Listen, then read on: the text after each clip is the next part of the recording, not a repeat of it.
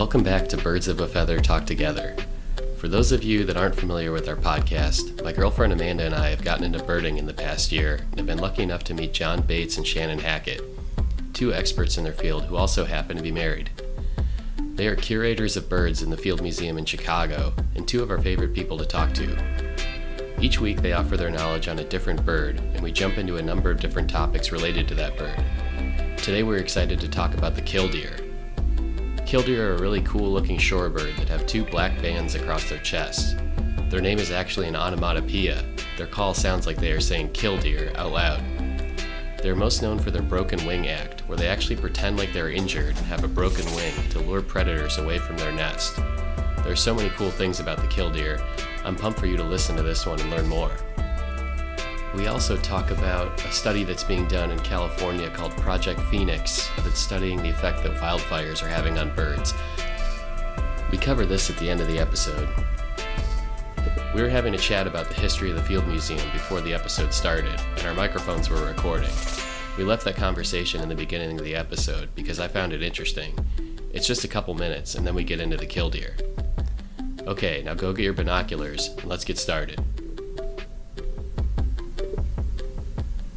We were looking a little bit about the Field Museum. Is is the actual building from the World's Fair? No. No. Okay. Yeah, so it was built in 1921. So, so, 1921, so what okay. happened was the World's Fair happened was down in Hyde Park. Mm-hmm. Um, the, the building that the Museum of Science and Industry is in is the only building left from the World's Fair, Oh, I so think. that's from the World's Fair. Yes, and the Oh. Field Museum actually the the initial collections were actually on display in that building until the 1921 building was was uh, Oh. Was finished. You guys made your Yeah. building. Okay. Yeah. Very cool. So it's interesting. So the the first bird, bird number one in the Field Museum collection was uh, I think the collecting collection date was about I think it's 1903 I think Oh wow. and and We have older birds, but not.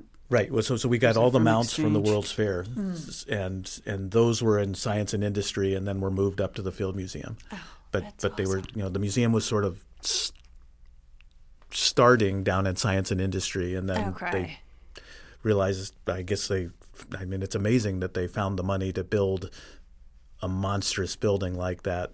Well, it Uh, was donated. yeah. The Field Museum. So Yeah. yeah, the Field it was family, Marshall right? Field, right? Yeah. Yeah, we were just Yeah. reading about that. Yeah, Yeah. The um, I love what you said about how it's like such a pain in the ass to articulate skeletons. That that's why you guys, the ones you have, are really old. Oh, Oh, we yes. don't have enough staff.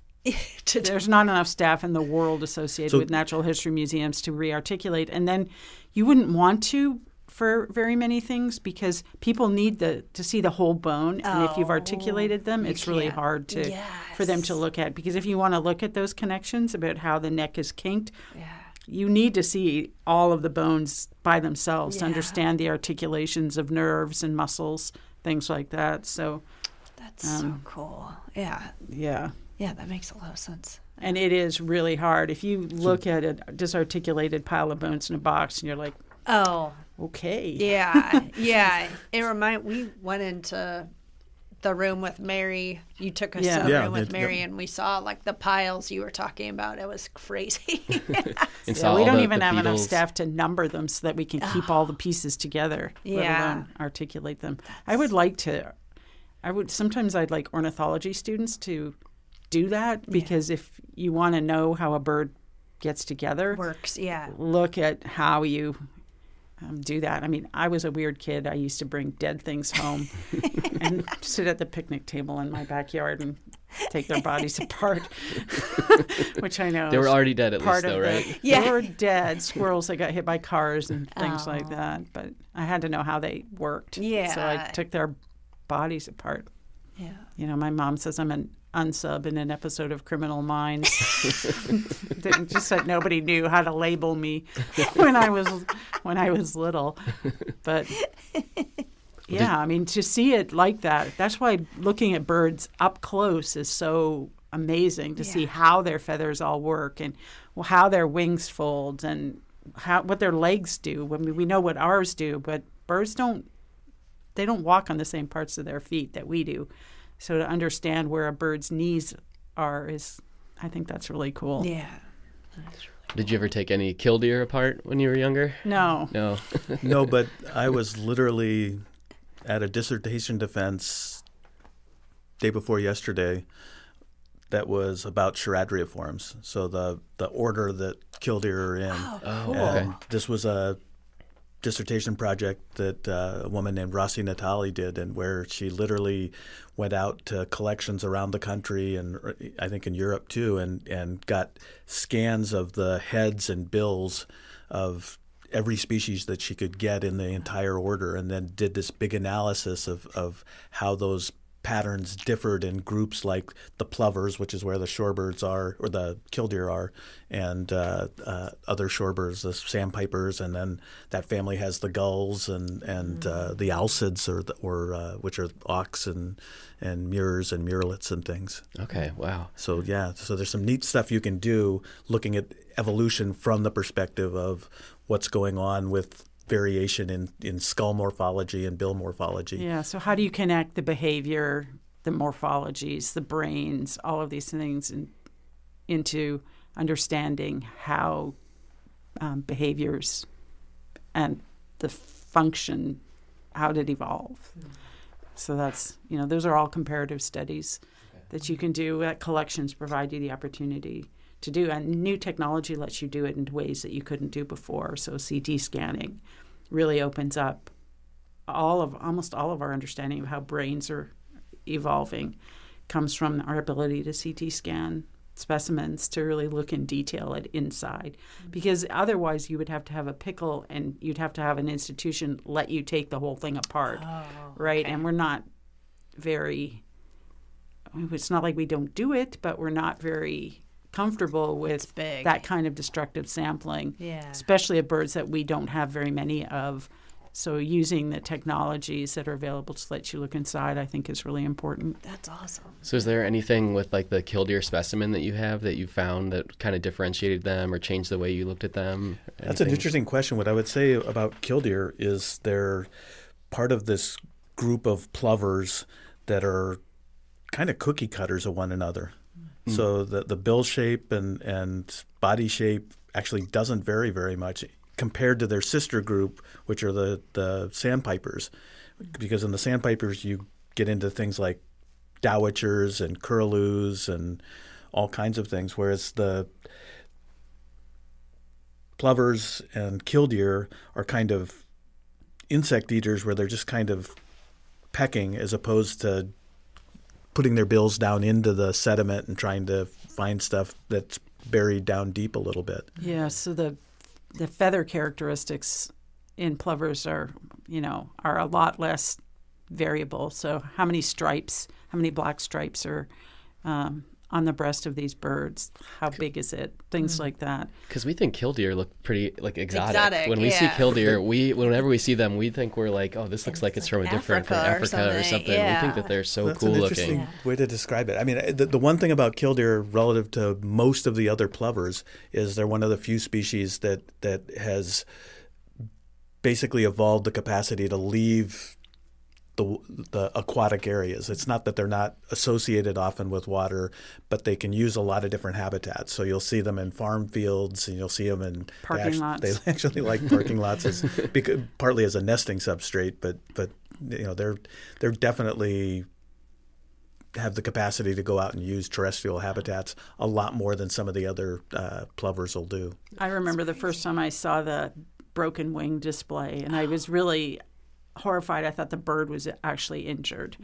You know, they're very convincing in wandering around with that with their wings all twisted out as if they're Yeah. So can you describe broken. exactly? Because I've seen videos on YouTube, but uh, you know, so basically to lure prey away from its its eggs, it'll pretend like it's or yeah. yeah, predators. It'll pretend like it's injured, and kind of shake its wing, um, and then it basically gets the predator away from yeah, the it's nest. Is luring that- them away, thinking, okay, well, this is a bir- injured bird.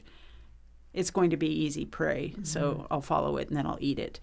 Um, yeah, you run into your own when you do that to a fox, though, or something like that, because then if you're a killdeer, a fox is going to eat you. Right. Um, they will actually know that they can get that bird or you know other kind of display behaviors that are designed to make you seem more threatening even so if you if the broken wing doesn't work well let me try puffing my whole body up and making you think i'm twice as big as i actually am And that display was like equally fascinating. I thought it kind of like has its wings out to the side and shows its tail. And is there? I think there's a color on the tail. Yeah. yeah, they've really- evolved to have yeah, and that's actually I think fairly unusual in the group in, in, in how distinctive that tail pattern is. It's it's really dramatic. It kind of reminds me of a red-tailed hawk almost, where it just and it it's, you definitely notice it.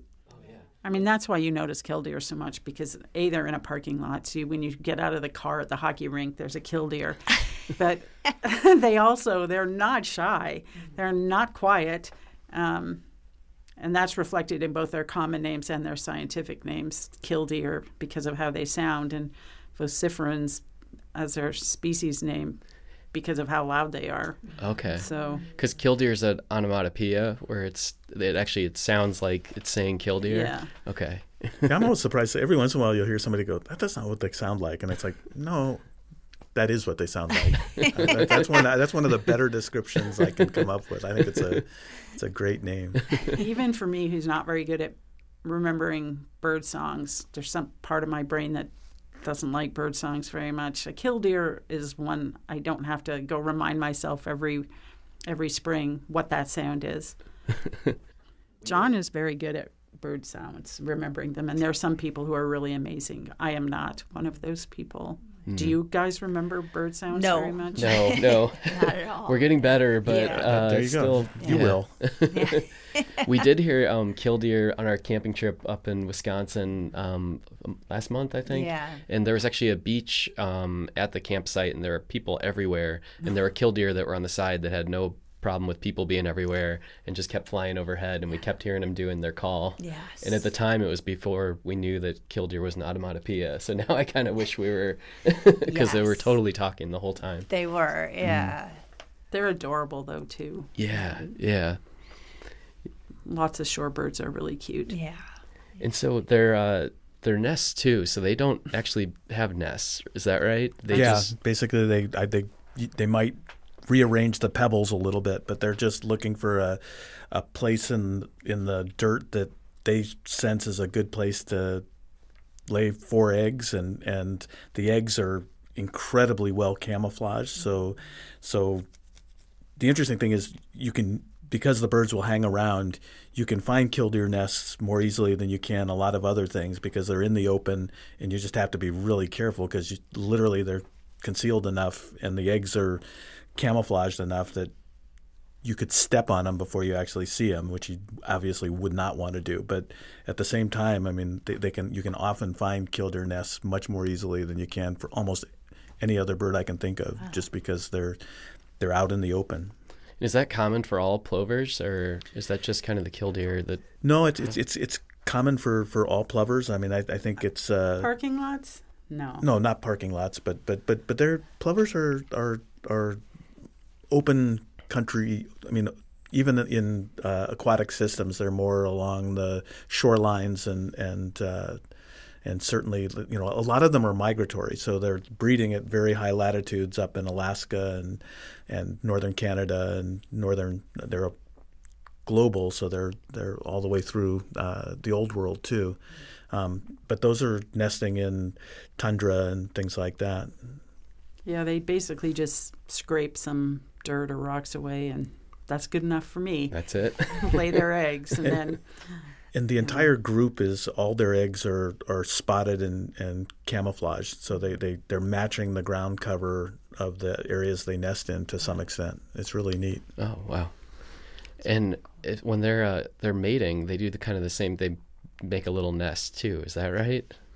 Yeah, so Like they- they scrape the female some- will just. I, I wonder if that's kind of a preparatory thing, just to I think it's part of the behavioral rituals of mating, you know, to do that because of what closely happens thereafter. Which, if we're going to talk about bird sexes, that's what happens after the little scrapey behaviory thing happens.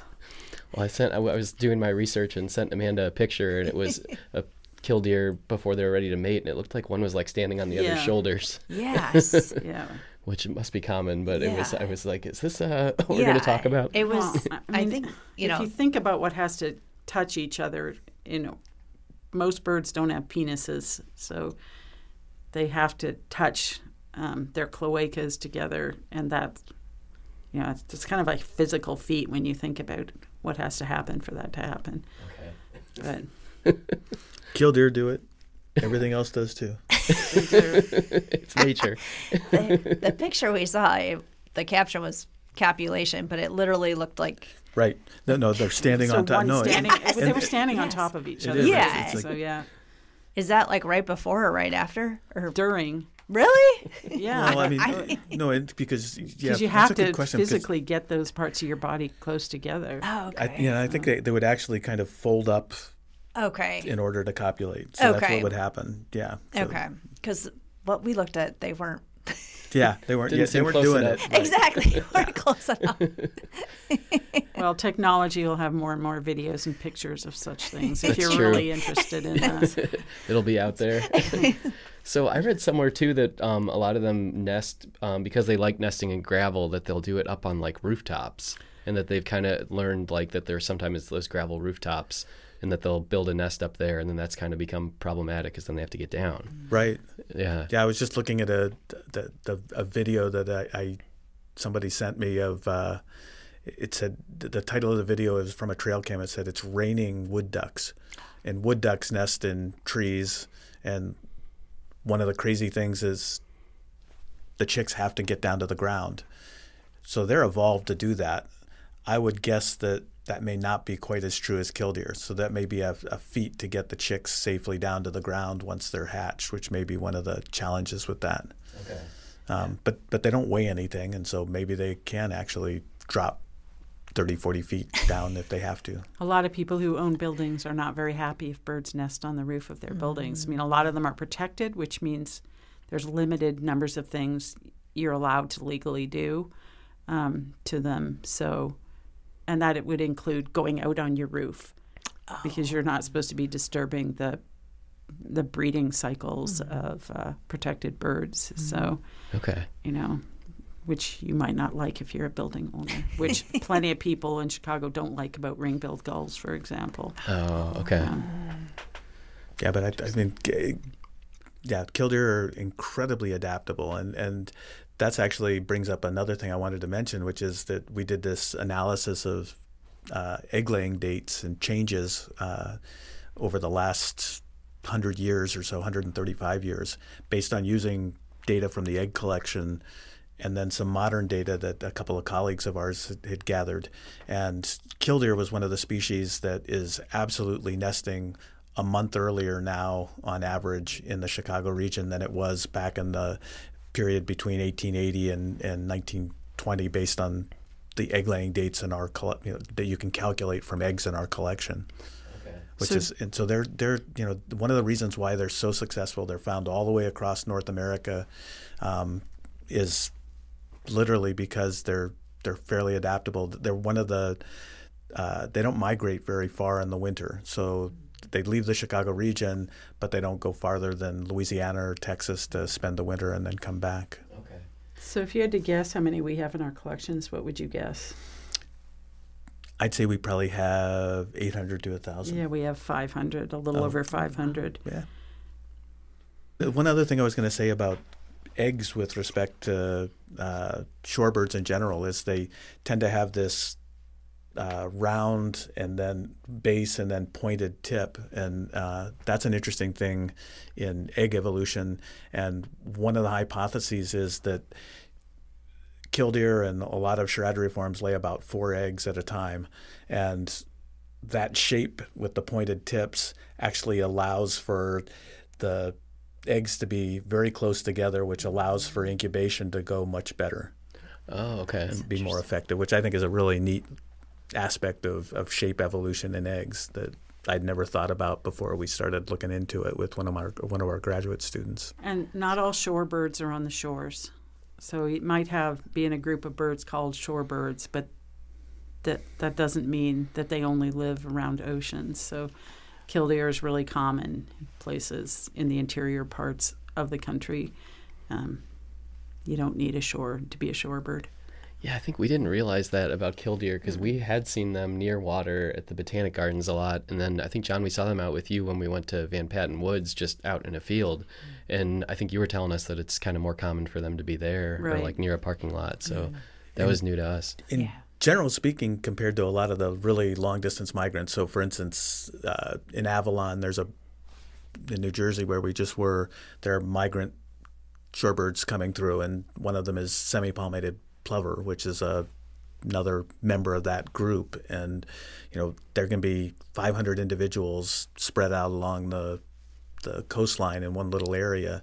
Whereas with killdeer, you don't see that anywhere near as much. Although every once in a while you can see groups congregating, for instance, on uh, soccer fields um, where you can get 50 to 100 or so at a time after the breeding season, and they're starting to move south. Do they? I heard somewhere that they feed both at night and during the day, depending on the moon cycle. Is that is that true? I, I, don't know how well studied that is specifically, but um, one of the neat things about their morphology is they have really big eyes, and uh, that's almost certainly an adaptation to for potentially for crepuscular activity. And so, yeah, I think that, that, that they probably are absolutely, it's safer probably at night from aerial predators and things like that. I mean, especially in open country. I mean, I'd look at it if if you're going to have if a broken wing display is something that you use to lure predators away from your nests, that's a, a very energy intensive behavior, right? You don't do that lightly, and so if you're going to forage like that at dark or around dark, you know maybe you you don't have to put as much energy into protecting so your your nest can be a little more exposed for a little while while you're going out feeding. Oh, interesting. Makes sense. So that's what I think of when I hear that is it spends a lot of time defending. I mean, if you're gonna if you're gonna nest in a parking lot, you're gonna be doing a broken and they do the broken wing at humans, right? So that's a lot of energy and a lot of stress associated with that. So their cortisol levels must go crazy when they are doing these displays. So it's got to be a lot less. And, and at the same time, they're a, bird that'll nest successfully in really small patches, seemingly that that in urban areas. So so we've seen broods at places like Eggers, uh, Eggers, uh, uh, Emily Oaks, um, along the uh, power line right away. There's enough open space there to have a killdeer put a nest in and, and hatch some young and raise them up and and and so it's yeah they're definitely adaptable and and I think your point was a really good one with respect to um, what they're doing in that sense because um, I think it's just an aspect of of with killdeer I was going to say I don't ever think of them as watching them forage and I can't think of very many birds I would say that about.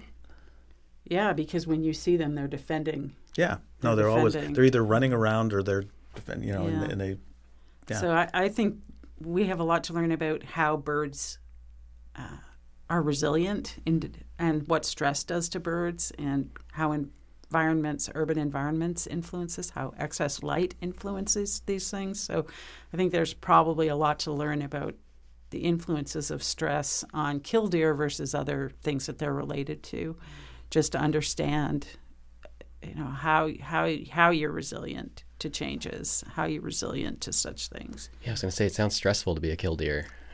Yeah, Yeah. yeah. I mean, obviously, when they were evolved, parking lots didn't exist.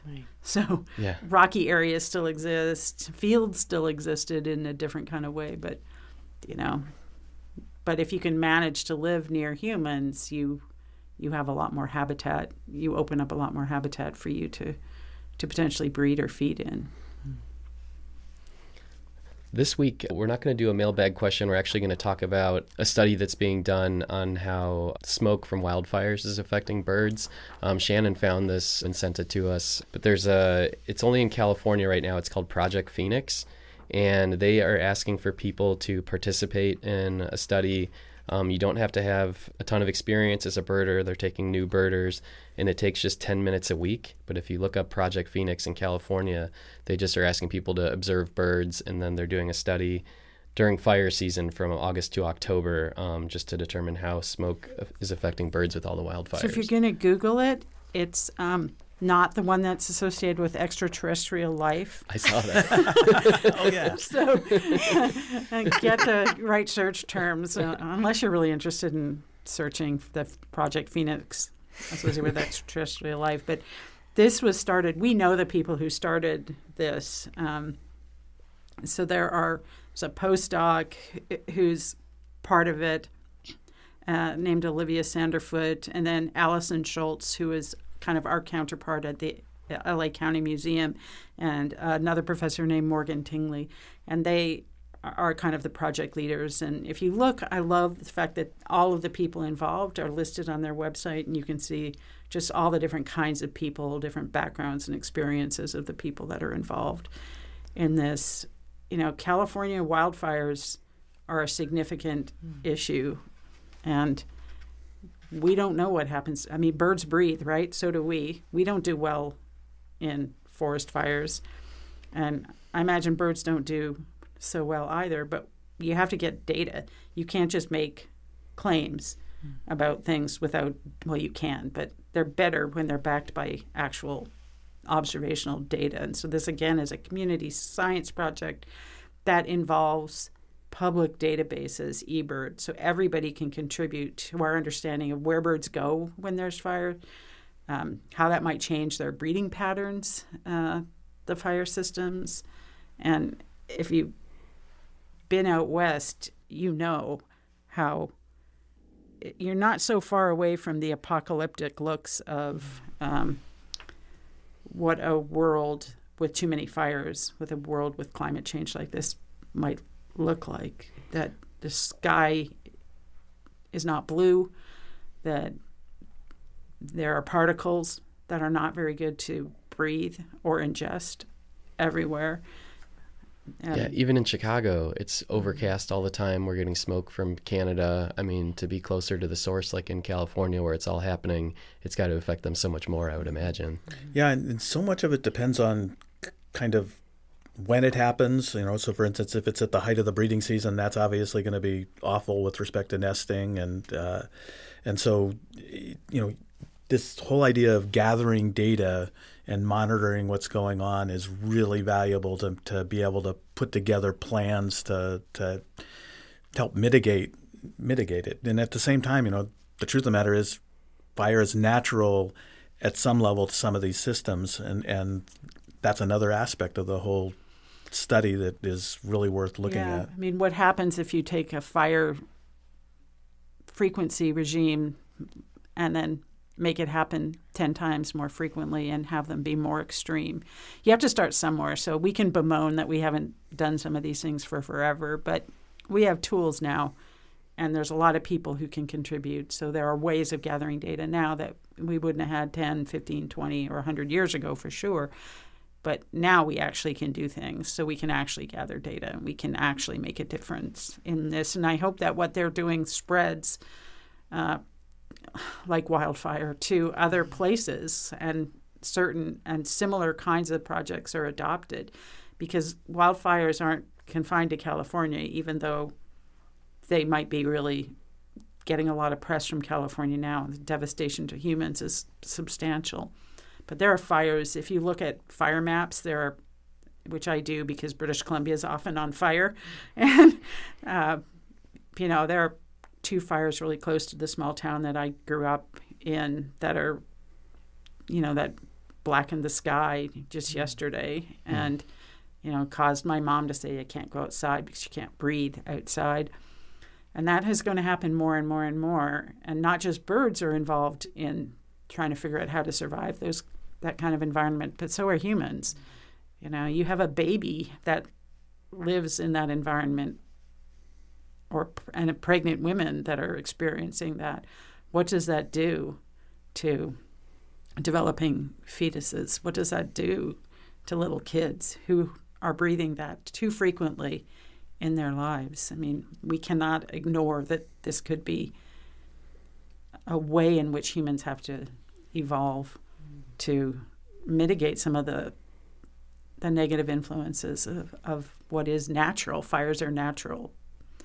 Uh, fires this frequent, this hot, this big are not so natural in some of these areas. So it's really Yeah, Amanda and I lived in Colorado together for a while, and there's always wildfire season out there. And then when we came to Chicago, we never thought, oh, this is going to affect us out here. And then you look at what's happening here in New York City earlier this year as well. I mean, it's unavoidable. It seems like kind of no matter where you go.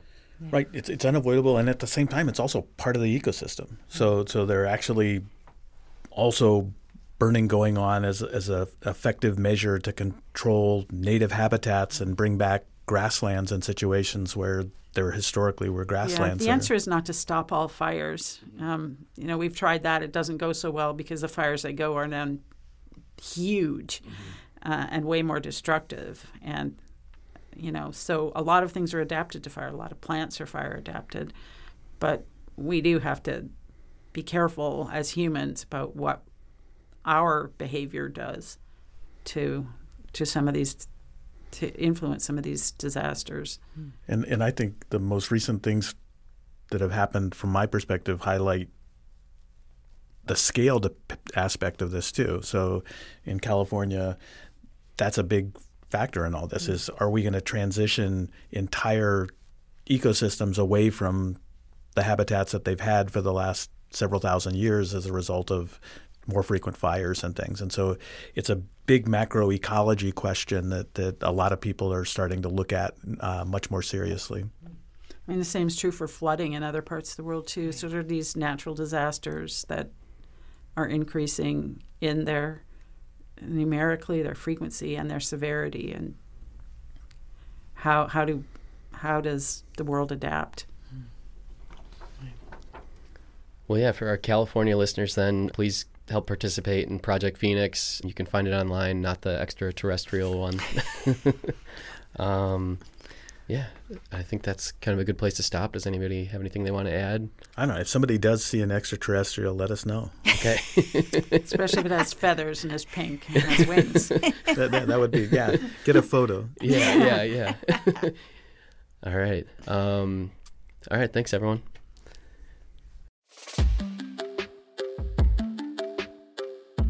Thank you to Earhole Studios in Chicago for hooking us up with a place to record. We love Earhole. If you have a question for John, Shannon, Amanda, and I, feel free to send it to podcast.birdsofafeather at gmail.com or reach out to us on Instagram. Next week, we have a really special episode as we talk about the Willard's sooty boubou. You won't want to miss this episode. This is a species that John and his colleagues actually discovered. Hear about their trip to Africa and the process of discovering this bird in our next episode.